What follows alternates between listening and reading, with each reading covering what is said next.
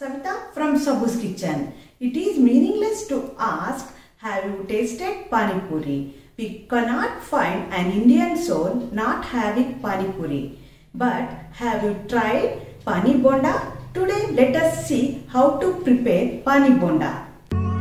Ingredients for pani mint leaves 1 cup, coriander leaves half cup, green chilies 2, garlic cloves 8 to 10, ginger 1 inch, salt as per the requirement, tamarind juice 1 cup, chopped onion 1 cup, jeera powder half teaspoon, red chili powder as per the requirement, water 5 cups, amchur powder half teaspoon, धनिया powder half spoon, hing quarter teaspoon. Ingredients for bonda: idli batter 1 cup, rice flour quarter cup, chopped onion 1 cup, kasuri methi 1 spoon, chili paste as per the requirement.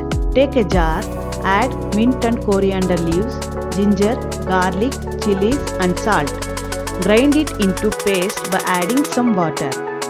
Take a bowl, add the paste, tamarind water, dhania, chili powder, jeera powder, amchur powder and hing. Mix it well and add water. Keep it aside.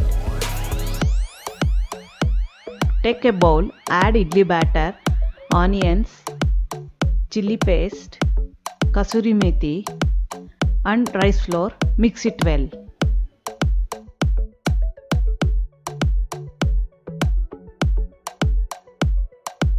Heat oil in a kadai. Make small balls from the bonda batter and put them inside the oil.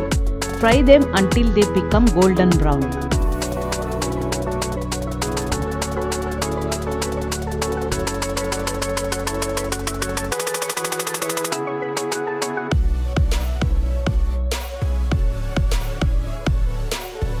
Add coriander leaves and onions to the pani and mix it well.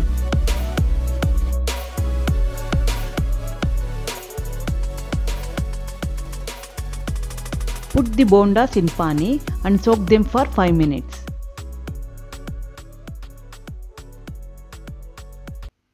Mouth-watering pani bonda is ready to serve.